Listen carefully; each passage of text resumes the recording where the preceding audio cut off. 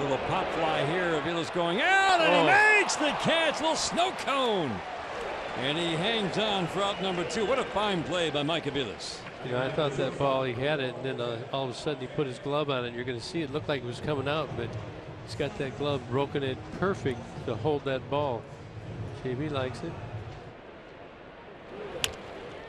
Oh boy, a little pop up here. And Aviles again ranging onto the outfield grass. Mike Aviles has made two fine plays on little bloops that look like they would drop. That's a big out number two. That is.